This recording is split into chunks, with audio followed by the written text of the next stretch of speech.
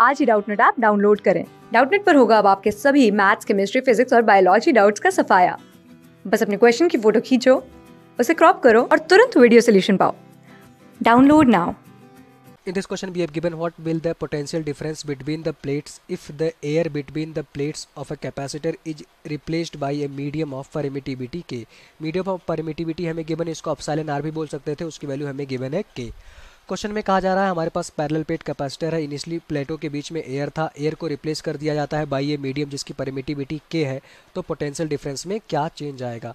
Option one यहाँ पे देखो ऑप्शन टू थ्री फोर कह रहा है चेंज होगा या इंक्रीज करेगा डिक्रीज करेगा, कैसा होगा?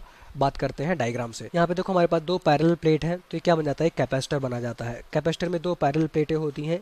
प्लेट का जो ये हमारा सरफेस एरिया होगा लेट से ए है तो दोनों प्लेट का सरफेस एरिया ए होगा इक्वल रहता है। ये प्लेटें होती हैं, बाहर से देखने में आपको एक लाइन दिख रहा है क्लियर मान लेता हूँ दोनों प्लेटों के बीच की जो डिस्टेंस है डी है, इसकी भी ज़रूरत पड़ेगी जब पोटेंशियल आप लिखोगे डी है। अभी ऐसा मैं अज्यूम कर रहा हूँ कि इस प्लेट दोनों प्लेटों के बीच में अभी क्या है? एयर है।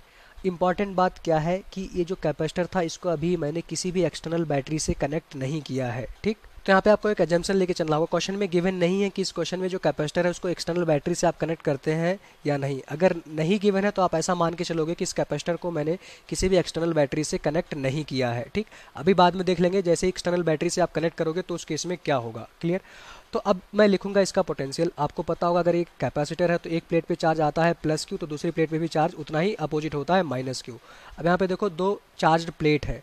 तो इनके इस प्लेटों के बीच में इलेक्ट्रिक फ़ील्ड आएगा। आपको पता होगा जो इलेक्ट्रिक फ़ील्ड की डायरेक्शन होती है पॉजिटिव प्लेट से नेगेटिव प्लेट की तरफ़। तो इस प्लेट के बीच में अगर किसी पॉइंट पे देखो इलेक्ट्रिक फ़ील्ड क्या होगा? पॉजिटिव प्लेट से नेगेटिव फ़ील्ड की। अच्छा अगर वो जो इलेक्ट्रिक फ़ील्ड होगी, प्लेटों की वजह से इसके बीच में इलेक्ट्रिक फ़ील्ड कॉन्स्टेंट रहती है और उसकी वैल्यू कितनी आती है? देखो इलेक्ट्रिक फ़ील्ड की डायरेक्शन तो पॉजिटिव प्लेट से नेगेटिव प्लेट आती है सिग्मा अपॉन अफसाइलन नॉट होता है। सिग्मा क्या होता है? सरफेस चार्ज डेंसिटी तो देखो हमारे पास surface charge density sigma equals to क्या होगा? कितना चार्ज है? किसी भी एक प्लेट पे चार्ज का मैग्नीट्यूड देखो क्यू डिवाइडेड बाई प्लेट का एरिया कितना है ए तो सिग्मा की जगह पे आप लिख सकते हो क्यू बाई ए तो इलेक्ट्रिक फ़ील्ड कितना आ जाएगा आप देखो, हमारे पास आएगा Q by A epsilon naught ये आप इसको प्रूव भी कर सकते हो, बहुत आसान है कि electric field sigma upon epsilon naught कैसे आता है, आप देखो. मान लेता हूँ इस प्लेटों के बीच में कोई एक मैंने पॉइंट ले लिया, देखो. इस पॉइंट पे पॉजिटिव प्लेट से जो इलेक्ट्रिक फ़ील्ड आएगी पॉजिटिव प्लेट से दूर की तरफ़ sigma upon two epsilon naught sigma upon two epsilon naught किसी भी प्लेट की वजह से जो इलेक्ट्रिक फ़ील्ड आती है, वो डिस्टेंस पे डिपेंड नहीं करती है।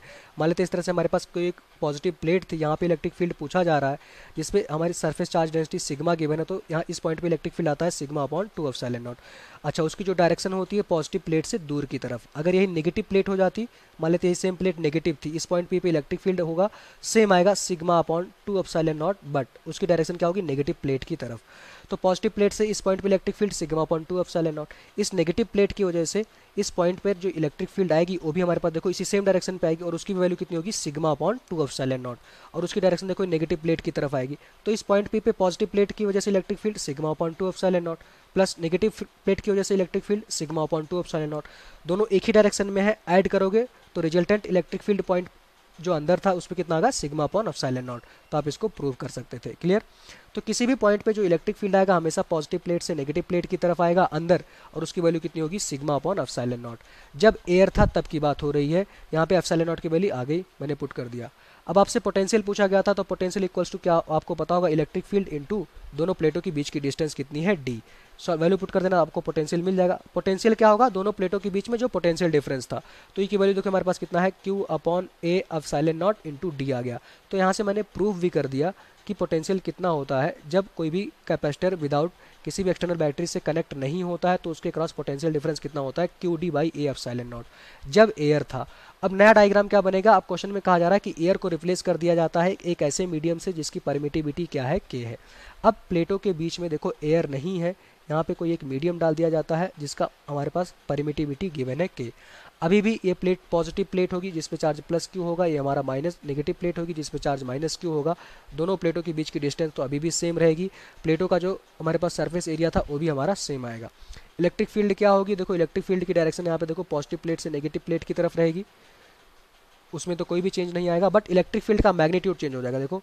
ये हमारा इलेक्ट्रिक फ़ील्ड की डायरेक्शन क्या होगी? पॉजिटिव प्लेट से नेगेटिव प्लेट की तरफ़ इस प्लेटों के बीच में। तो अगर इलेक्ट्रिक फ़ील्ड इस बार लिखोगे तो इसकी वैल्यू कितनी आएगी हमारे पास? देखो डायरेक्ट लिखूँगा। चार्ज कितना है Q divided by A into epsilon naught into epsilon R क्योंकि यहाँ पे मीडियम आ चुका है तो अब साइलेंट आर की वैल्यू यहाँ पे कितनी है? के है। ये हमारा इलेक्ट्रिक फ़ील्ड आ गया। डायरेक्ट मैंने लिख दिया। और इलेक्ट्रिक फ़ील्ड की डायरेक्शन पॉजिटिव से नेगेटिव प्लेट की तरफ़ आएगी। तो new potential new electric field ये आ गई ई डैश मान लेता हूँ। जब एयर मैंने डाल दिया प्लेटों के बीच में सॉरी एयर को हटा के मैंने कोई एक डायलेक्ट्रिक मीडियम डाल दिया, जिसका डायलेक्ट्रिक कांस्टेंट हमें गिवन था के तो उस समय इलेक्ट्रिक फ़ील्ड कितना आ गया प्लेटों के बीच में? Q upon A epsilon naught into K अगर मैं पोटेंशियल लिखूँगा तो वी डैश इक्वल्स टू क्या होता है हमारे पास? देखो E dash into D V equals to E into D फॉर्मूले से। तो ई डैश की वैल्यू यहाँ पे आ जाएगी हमारे पास, देखना Q upon A epsilon naught A epsilon naught into K into D की वैल्यू यहाँ पे आ जाएगी। तो न्यू पोटेंशियल डिफरेंस कितना आ गया हमारे पास? देखो क्यू अपॉन अगर मैं यहाँ पे वैल्यू देखूँ Q D upon A epsilon naught into यहाँ पे आ गया हमारे पास देखो, वन बाई के। तो Q D upon A epsilon naught क्या था? पोटेंशियल जब प्लेटों के बीच में एयर था। तो इसकी जगह पे मैं वी लिख सकता था। तो हमारे पास देखो न्यू पोटेंशियल जैसे ही मैंने मीडियम चेंज किया एयर हटा के, कोई एक मीडियम डाला जिसका डायलेक्ट्रिक कांस्टेंट के था तो उस समय जो पोटेंशियल आ गया डिक्रीज कर गया कितना? के टाइम तो new potential difference between the plate कितना हो गया? ओरिजिनल पोटेंशियल डिफरेंस का वन बाई के टाइम आप ऐसे भी बोल सकते हो कि जो पोटेंशियल डिफरेंस आएगा के टाइम डिक्रीज कर जाएगा। क्लियर तो जैसे ही कोई डायलेक्ट्रिक मीडियम डालोगे पोटेंशियल के टाइम डिक्रीज कर जाता है। तो आंसर क्या हो जाएगा कि it will decrease K time बिल्कुल ऑप्शन वन सही होगा। आप देख पा रहे हैं पोटेंशियल डिक्रीज किया है के टाइम और क्वेश्चन ऑप्शन टू कह रहा है it will increase K time जो कि गलत है। अगर ऐसा आता potential V dash equals to K into V तब जाके हमारा सेकंड ऑप्शन सही होता। बट ऐसा तो नहीं आ रहा है। वन अपॉन के आ रहा है। मतलब पोटेंशियल के टाइम डिक्रीज कर गया है। देयर विल नो चेंज अब इसको समझना होगा। ये कब होता? जब। अब यहाँ पे इस बात पे आते हैं। प्लेटों के बीच में भी देखो, मैंने कोई भी एक्सटर्नल बैटरी कनेक्ट नहीं किया था। अगर आप बैटरी कनेक्ट कर देते तो न्यू डायग्राम देखना। मान लेते इस तरह से हमारे पास कोई एक पैरेलल प्लेट कैपेसिटर था। इसको मैंने किसी एक्सटर्नल बैटरी से कनेक्ट कर दिया। एक्सटर्नल बैटरी से कनेक्ट कर दिया। जिस बैटरी का वोल्टेज मान लेता हूँ वी है। ठीक? अब यहाँ पे देखना, मान लेता हूँ अगर वोल्टेज वी है तो इस प्लेटों के अक्रॉस जो पोटेंशियल डिफरेंस आएगा ऑलवेज वी रहेगा। चाहे इसके बीच में एयर रहे, ठीक? अब एयर हटा के कोई एक डायलेक्ट्रिक मीडियम डाल दो जिसका डायलेक्ट्रिक कांस्टेंट के है, तब भी इस प्लेट का जो पोटेंशियल रहेगा, ये ऑलवेज आपने देखो बैटरी लगा के कांस्टेंट कर दिया क्लियर तो हमेशा याद रखना, अगर आपसे बोला जाए कि प्लेटों के अक्रॉस कोई एक्सटर्नल बैटरीज लगा दिया जाता है जिसका वोल्टेज वी है तो जो कैपेसिटर आएगा उसके क्रॉस प्लेटों के क्रॉस जो पोटेंशियल डिफरेंस आएगा, वो वी के इक्वल ही होगा, चाहे प्लेटों के बीच में एयर रहे, चाहे कोई डायलेक्ट्रिक मीडियम आप डाल दो। तो पोटेंशियल हमारा चेंज नहीं होगा। लेकिन यहाँ पे आपने एक्सटर्नल बैटरी कनेक्ट नहीं किया था तो पोटेंशियल देखो प्लेटों के क्रॉस हमारा डिक्रीज कर गया के टाइम क्लियर तो यहाँ पे ये हमारा ऑप्शन थ्री भी गलत होगा। ये कब सही आता? जब क्वेश्चन में क्लियरली बोला गया होता कि कैपेसिटर के अक्रॉस किसी भी एक्सटर्नल बैटरी को जोड़ा गया है, जो कि नहीं बोला गया है मतलब ये भी हमारा गलत हो गया। तो ऑप्शन फोर भी कोई चांस नहीं आएगा। तो ये रहा थोड़ा सा डिटेल्ड एनालिसिस इस क्वेश्चन का। तो आंसर क्या होगा? Option number one class six से ट्वेल्थ से लेके NEET I I T JEE mains और एडवांस के लेवल तक। दस मिलियन से ज़्यादा स्टूडेंट्स का भरोसा। आज ही डाउनलोड करें डाउट नेट आप या व्हाट्सअप कीजिए अपने डाउट्स आठ चार सौ चार सौ चार सौ पर।